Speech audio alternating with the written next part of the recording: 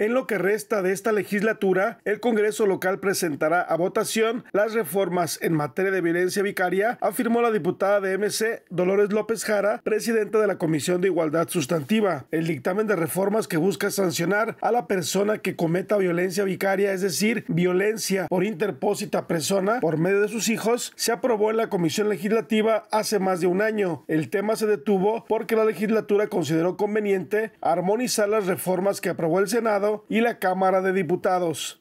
El tema esperemos que salga en esta legislatura, porque sí ha sido muy complejo caminar con, en particular, con esta propuesta de, de, que el concepto de violencia vicaria esté dentro de los tipos de violencia eh, que desafortunadamente se viven pues día a día y que las mujeres son quienes más lo han padecido. López Lara dijo que el tema de violencia vicaria se impulsa desde los tratados internacionales y Jalisco no puede quedar ajeno a ello. A los colectivos que se oponen y que se manifestaron el martes frente al Congreso, les dijo que los cambios a la ley no criminalizan a los hombres, sino que se habla de agresores sin especificar el género de quien comete el delito.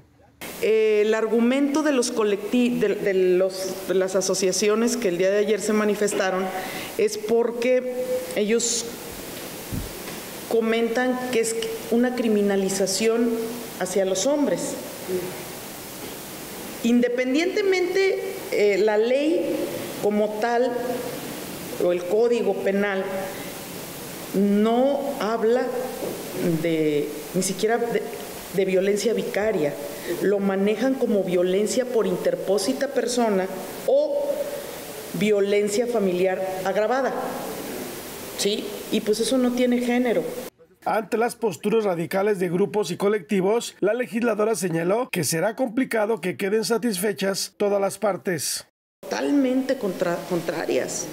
Y va a ser muy complicado que queden conformes unos y otros, unos y otras. Entonces, vamos a tratar apegados a derecho ¿sí? Y, de la manera más imparcial posible cómo vea la luz esta iniciativa sin que se sientan pues vulnerados o vulneradas en sus, en sus derechos humanos. En...